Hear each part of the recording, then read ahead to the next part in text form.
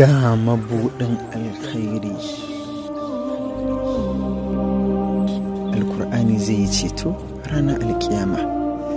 Daga sahabi abi umama radiyallahu anhu ya ce manzan allah tsira da amincin allah su fara tabbata a gare shi ya ce ku karanta alkur'ani domin zai yi ceto ranar alkiyama ga masu karanta shi muslim ne ya rawaito.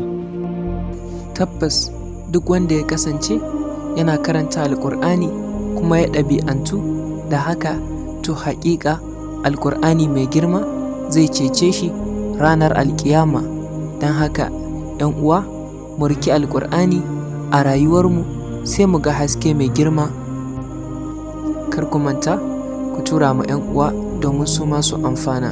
Wassalamu alaikum wa rahmatullahi ta'ala wa barkatuhu